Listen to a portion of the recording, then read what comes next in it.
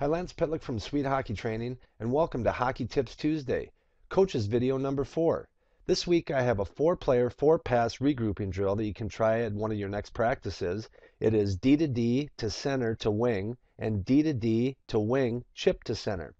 The setup is you're going to have two lines of defensemen and two lines of forwards. Let's take a look at it in action.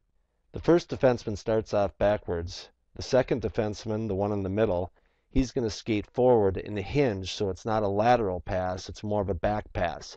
Center comes across, shows the target, makes the pass. Again, D to D to center to wing. One other teaching point, make sure they're yelling for the pass. You can add a little escape move like you saw right there. Now let's go to the next version.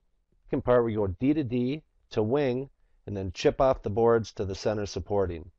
I'll put a coach on the blue line to apply a little passive pressure, more game-like, but D to D to wing chip to the center.